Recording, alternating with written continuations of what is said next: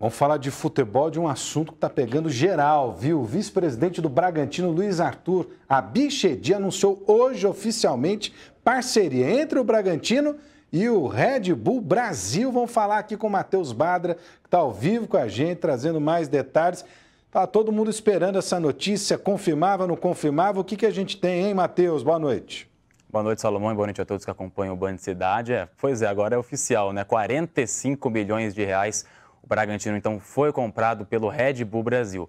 Mas para trazer mais informações, mais detalhes dessa negociação, o Angelito Neto está em Bragança Paulista e traz, então, esses, esses outros detalhes aí da negociação entre o Red Bull e o Bragantino. Olá, Matheus. Boa noite.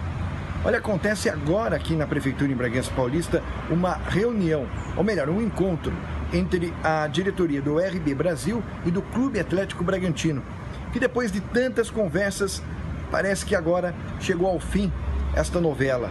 O RB Brasil firmou mesmo a parceria com o Clube Atlético Bragantino. Neste momento acontece aqui no gabinete do prefeito em Bragança Paulista a reunião entre os diretores. Eles estão apresentando o projeto desta parceria. E é claro que muitas coisas irão acontecer. Mas uma delas a gente já pode adiantar. O nome Bragantino será mantido mas amanhã a gente vai estar trazendo todos os detalhes no Jogo Aberto Regional, a partir das 12h30, com Carlos Batista.